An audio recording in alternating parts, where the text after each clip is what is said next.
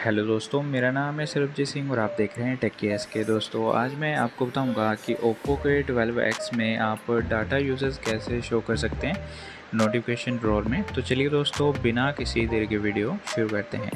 इसके लिए आपको सबसे पहले फ़ोन की सेटिंग्स में चले आना है। सेटिंग्स में जाने के बाद दोस्तों, आपको यहाँ पर ऑप्शन मिलेगी नोटिफिकेशन एंड स्टेटस बार की। तो यहाँ पर आपको क्लिक कर देना है। इसके बाद आपको यहाँ पर मोर सेटिंग्स पर क्लिक करना है।